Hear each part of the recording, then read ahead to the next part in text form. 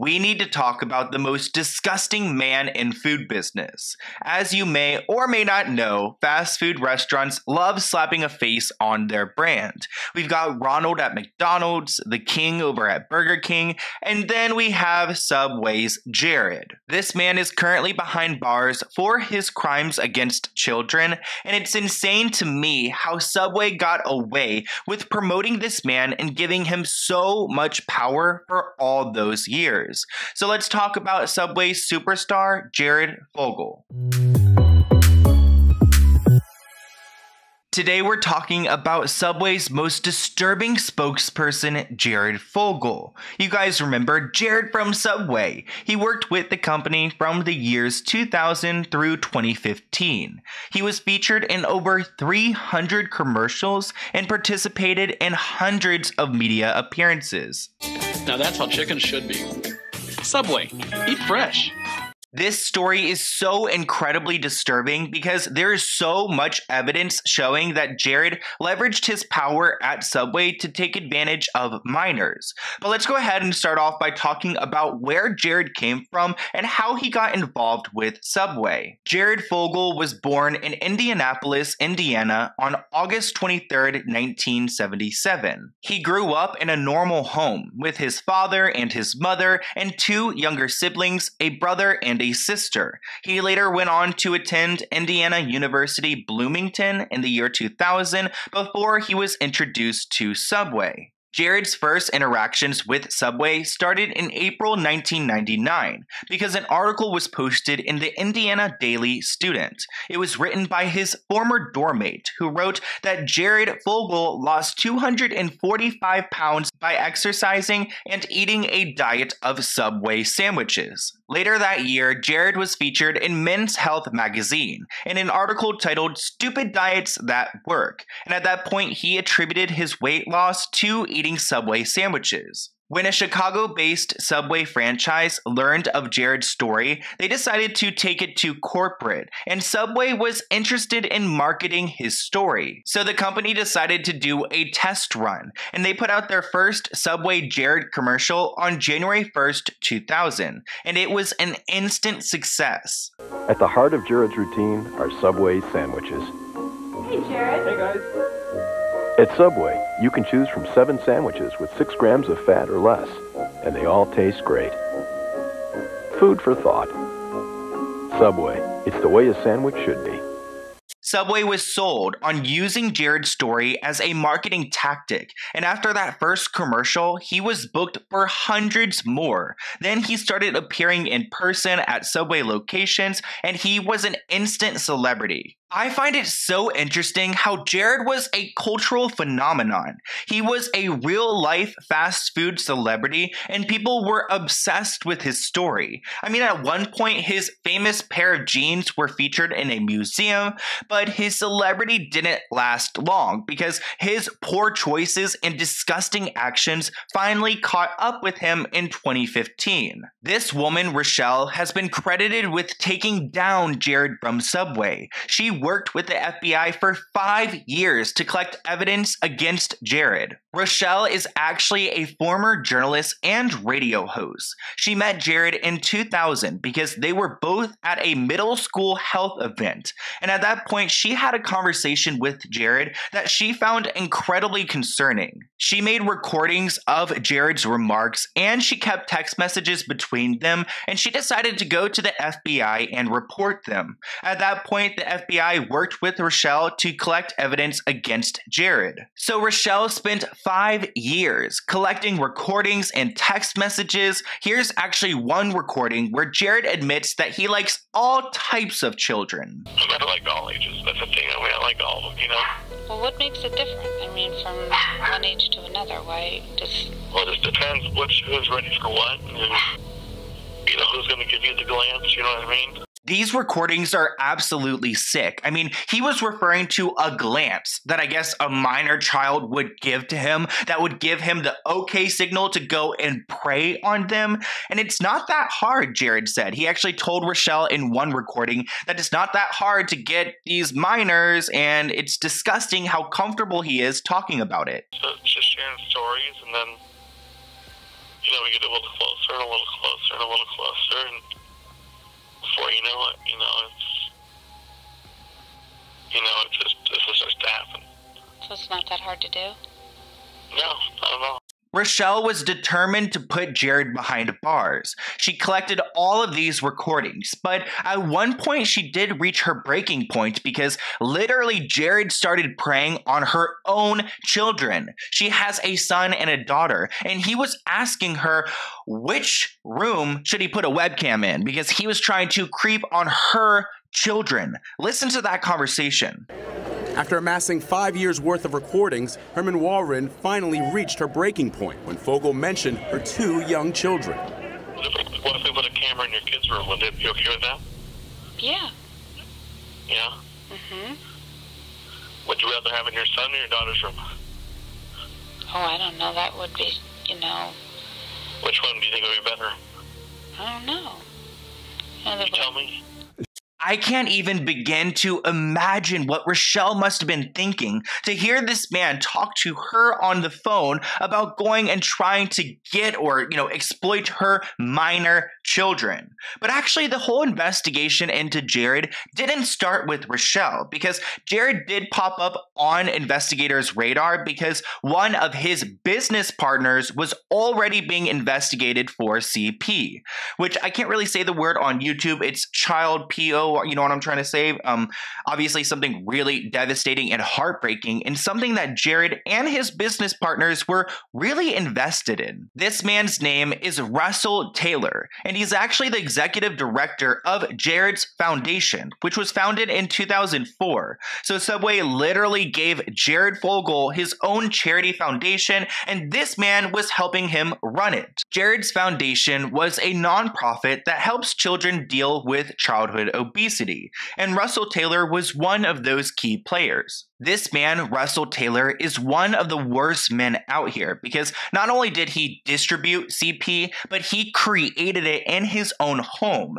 And actually, when the FBI and investigators got a hold of his technology, they found that this man was sending content to Jared Fogle. I was reading through some of the court filings, and it looks like Russell Taylor actually created this CP in his home using secret cameras between the years of March 2011 and April 2015. This man exploited children as young as six years old, and they found that there was a strong connection between him and Jared Fogle. So, with the information that authorities have from Rochelle and from Russell Taylor's case, they decided to go and raid Jared Fogle's home on July 7th, 2015. A team I'm told is called the Internet Crimes Against Children's Task Force has been investigating for nearly six hours here outside of Subway spokesman Jared Fogle's home here in Zionsville. Now, uh, I've watched as the force has taken several items from out of the Subway spokesman's home and dropped them off in their mobile lab, a big white trailer parked right out in front of the Fogle's home here. Uh, and I'm told that unit's outfitted with all of the latest technology so that they're able to analyze anything they might see inside the home, whether it's a laptop, USB, you name it. Analyze it right here, right now on the scene without having to leave. Now, with that being said, another interesting thing that I've seen out here is uh, agents lead a Labrador, a dog, yes, into Jared's home, into Jared Fogle's home. And I'm told that lab is an electronic sniffing dog, one who state police tell us is just one of three in the entire nation with the kind of training he has. I'm told that dog is able to sniff out uh, electronics and, and find uh, sensitive things that they think might be useful to them in their investigation. The police confiscated computers and other electronics from the home, and on that same day, Subway announced that they talked to Jared and they mutually agreed to suspend his partnership, which I feel like uh, mutually agreed. Subway should have been like, oh, hell no, you're fired. But that same day, they did remove all their references to Jared from their website, but I mean, you already did so much damage by plastering him all over the place that I believe that Subway will always be associated with Jared. But let's talk about that day on July 7th, 2015, because when prosecutors went into the home, they actually found that Jared had two images of children on his phone that he received from Russell Taylor. And after weeks of reviewing the data from Jared's devices, the government actually stressed how unusually close and direct Jared was to his victims. Because typically, when you, I guess, like, you know, you get CP, which is so disgusting, when you like receive it, you usually don't know where it came from or who it was. But Jared knew who his victims were, and he was unusually close and direct to them, which makes this so much more scary because he had intimate knowledge of his victims and the entire process by which their victimization occurred. But that wasn't it, because the government found more evidence against Jared. Actually, he sent some inappropriate text messages to a woman named Cindy Mills in 2008, and the government subpoenaed her for those messages. And it revealed that Jared would actually speak to um, uh, women who you know, you know, work on the street. I can't say like the actual term, but like SW.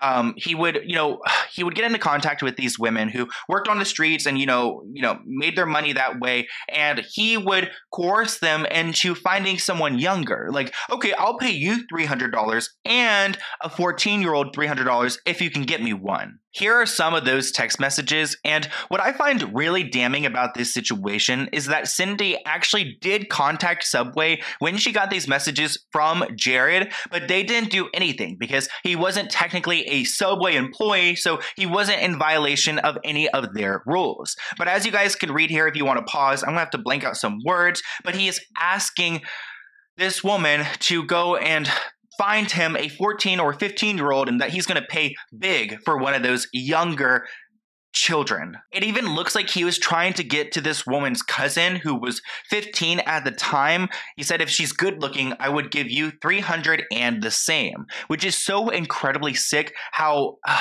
oh my God, just how this man operated. I don't quite understand how Jared was just going out here and operating like this, acting like he was untouchable because he's like a subway celebrity. Are you serious? But thank God he was caught and he was held accountable even if it was a little too late, he got some big charges thrown at him. On August 19th, 2015, they came to an agreement, a plea deal, where he was going to plead guilty to these charges and he had to pay these victims a lot of money. So Jared was sentenced to 15 years and 8 months in prison, and he's not eligible for early release until he's served at least 13 years he was ordered to pay $1.4 million in restitution to 14 victims. And on top of that, he had $500,000 in fines. What's really disturbing is that Jared actually has two kids of his own with his wife Katie, who actually filed for divorce against him.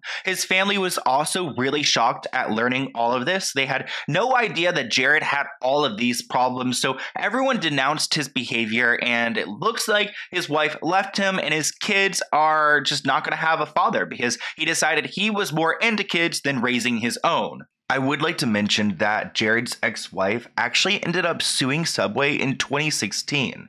She claims that they knew that he was a criminal and they did nothing about it. Obviously, she was not happy to find out that her husband was this raging criminal, and she was quoted saying, Finding out your husband and the father of your children is a child P word, and knowing that his job involved visiting schools on a regular basis is devastating. She also claims that Subway used their children and her likeness in a campaign that she did not consent to. It's clear that she's really frustrated with Subway's lack of action and accountability.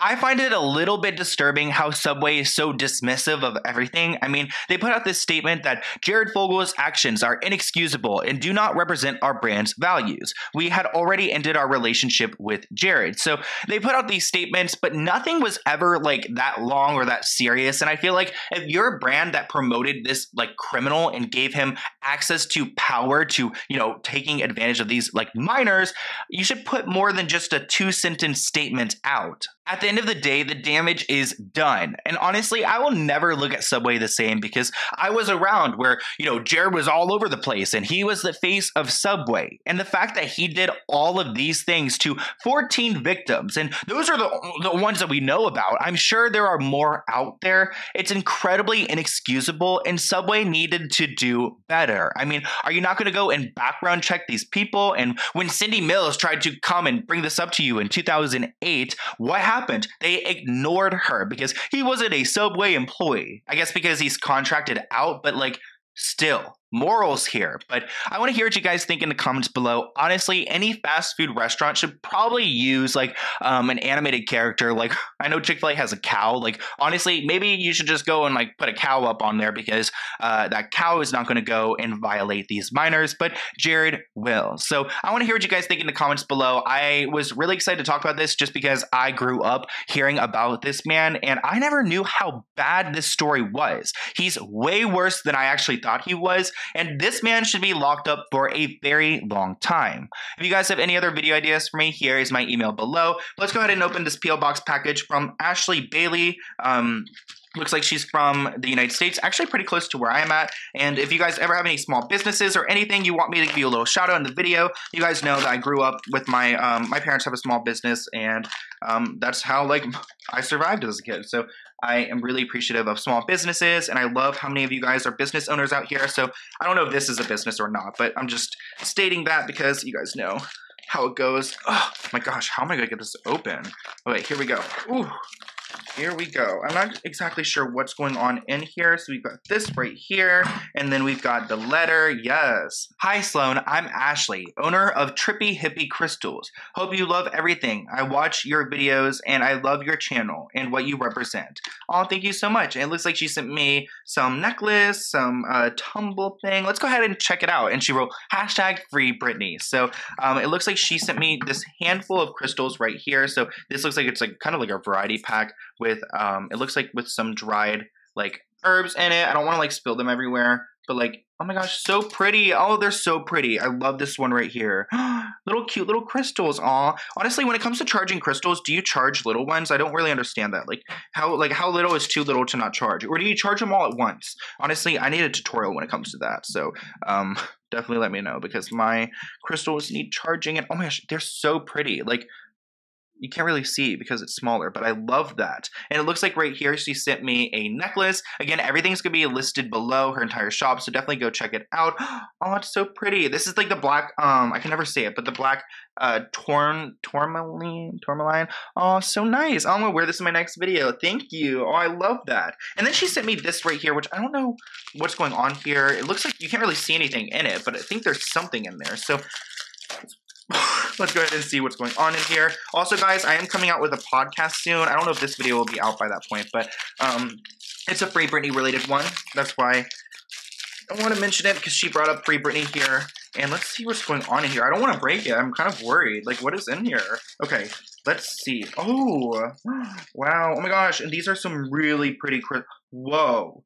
Look at this rock. Look how green it is. I don't even know what this is. Oh my gosh. And then this is so beautiful. It looks like a crystal that has like literally pieces of hay in it. Like, I don't know what to call that, but that's so pretty. And then this one right here. Wow. Oh my gosh, these are gorgeous. And this one, the color is like so beautiful. So thank you so much. I love these. Definitely go and check out her shop. I really appreciate them. They're so cool. I can't wait to wear this necklace too. Ah, so go and check it out. And I will see you guys in a new video soon. Bye guys.